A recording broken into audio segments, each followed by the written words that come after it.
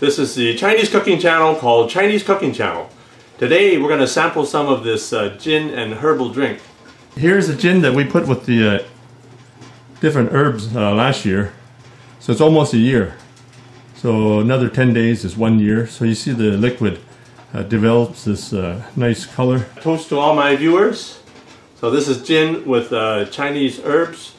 It's really good for your health. At least that's what they say.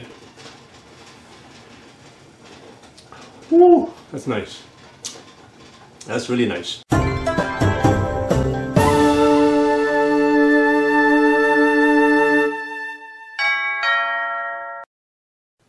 This is a herbal drink that my grandfather used to make. So these are traditional Chinese herbs.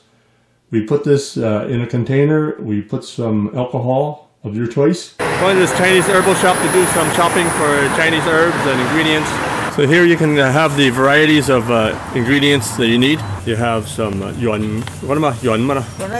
Yuan. Yuan. Yuan. Yuan. Yuan. Okay, something yuan in uh, English. You have the uh, Chinese red dates, and over here you have the the uh, southern almonds. These are the small ones. So the northern almonds are larger.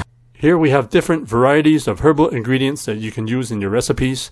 So just write the name of the uh, ingredient in English if you don't know how to say it in Chinese and take it to one of these stores and they'll find the items for you. My grandfather used to make this and sometimes he put different kind of uh, meats in there.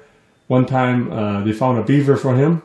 So after a few months uh, it was sealed and then after a few months my, my grandfather took out the beaver and he had a nice uh, herbal drink. So what I've done, actually, I've got this uh, strainer here. I'm going to pour the uh, gin in. So I don't know if I actually broke the bottle, the top. So actually, I did break it.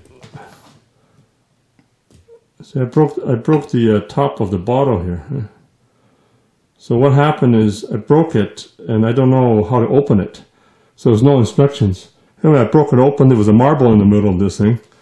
And I'm just going to use this strainer in case it's plastic that's broken. So we're just going to pour the alcohol in. And it doesn't pour. Oh, there it is. The whole cap comes off. So you pour the uh, gin in there like this.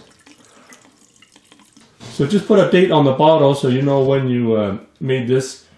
So usually the minimum is about three months soaking it. Uh, better even if you uh, drink it after about a year. These are pretty standard herbs that we use. We often use these herbs in soups, Chinese herbal soup, but you can also soak it in alcohol the way we do it here. So make sure you uh, check with your local health, uh, Chinese health store personnel to see what's uh, best for you. There's different benefits for different herbs. So enjoy! To all my viewers, uh, thanks for your support and I wish you all the best. Wow, that's really nice. It's a uh, gin, but it's got the real nice uh, sweet taste from the herbs and all the different herbs in there. It gives it a very unique taste.